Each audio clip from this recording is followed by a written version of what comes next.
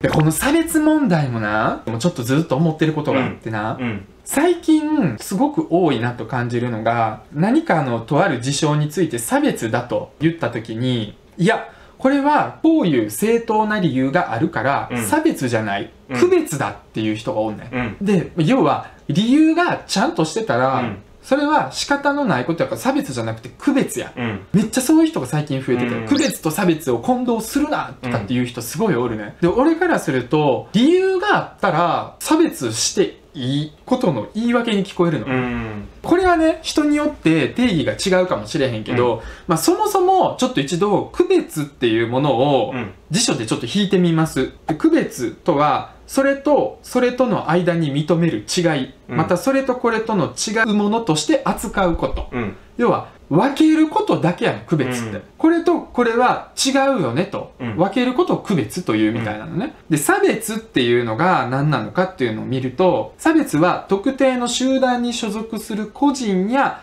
ある属性を有する個人に対して、うん。その所属や属性を理由にして、うん。特別な扱いをする行為。要は、うん。差別って下に扱うことだけで見られるけど、上に扱うことも差別やねこれってね、僕の中でうん。どう解釈してるかというと、うん。差別というのと区別の違いとして一番大きなのが、うん。例えば男と女がいます。男は男子トイレを使ってください。うん女は女子トイレを使ってください。これは男と女を分けてうん平等に扱ってるやん。うんどっちもトイレがあるんやから。だから、これはもう平等に扱ってる。分けて平等に扱うという点においては区別やね。じゃあ、男と女がいます。男のトイレはありますが、うん女の人はトイレがないので、木の下でしてください。これは男と女という属性分けてうん。不平等に扱ってるわけやから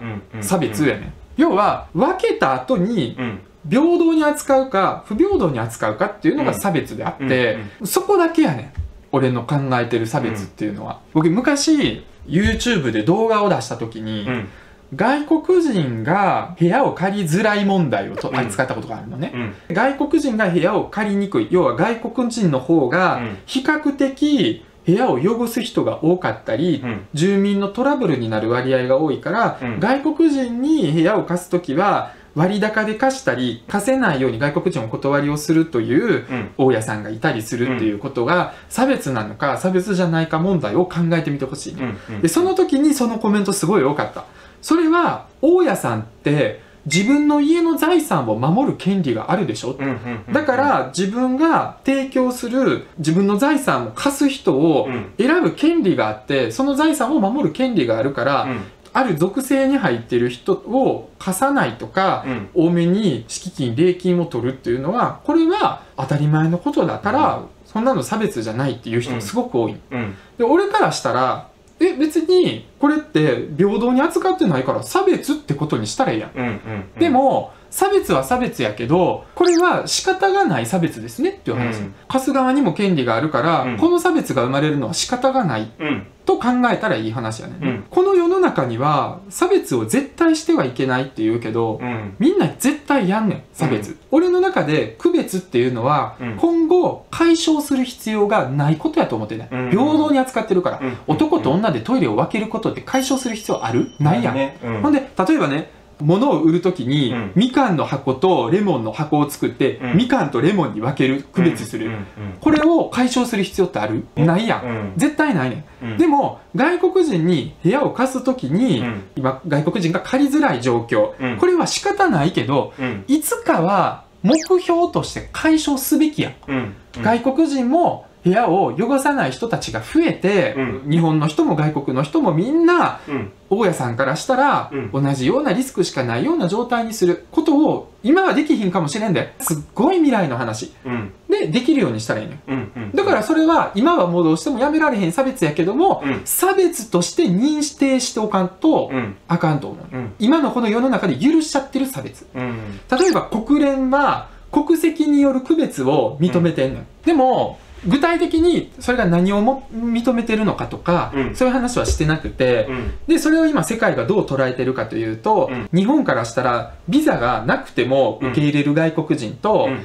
ビザがないと受け入れない外国人と、うん。あとは国によってはより警戒をする要はテロが多かったりとかするから、必要以上にうん。検査をしたり調査をしたりなんかするっていう、その国籍によってすごく警戒する国籍を設けたりとかもしてるわけよね、うんこれ日本に限らず世界中そうやけど、うん。でもそれって仕方ないや日本という国を守るために特定の今の自分の国から見て敵だと思われる国うん。を警戒する。その国の国籍の人を警戒するっていうのはうん。当然のことやから、でもそれってじゃあ差別じゃありませんと認定するかといったら俺は差別だと思うのよ、うん。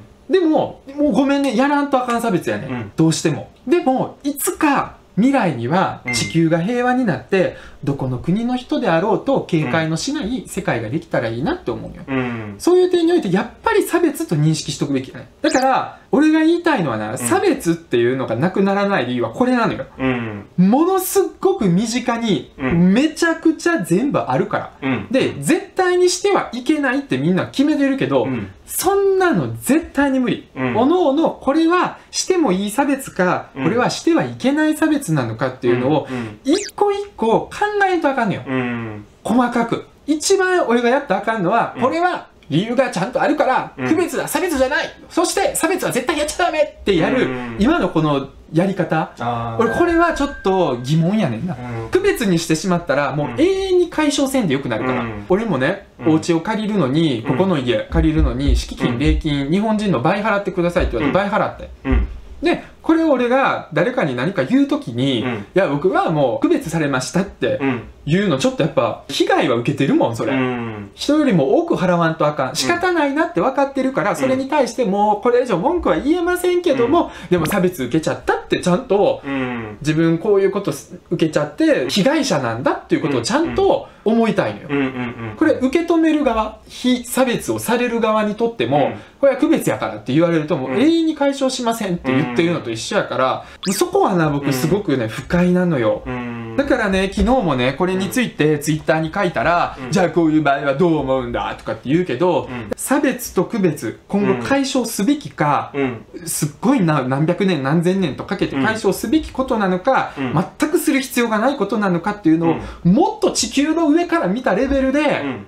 考えるべきことだと思っておりますという。女性専用車両もそうやで。うん。理由があるやん。やっぱ女性被害を受けてしまう人がおるから、うんこういうことになってしまっている理由がちゃんとあんねん。うんでも男性の方が乗れる数が少ない。うんやっぱこれ差別やねん。うん本来であればね、将来的に女性も男性も同じ車両に乗っても、全く怖くない痴漢のないうん安全な社会を作るべきやねん。そこまで考えて。うんそしたらやっぱ差別だと思うで。でも今の社会はそうじゃないから、うん仕方ないごめんよ、差別するよ。でもこの女性がこう安全に乗れるように、うんこういう車両を用意してるんだよ。それだけよ。うん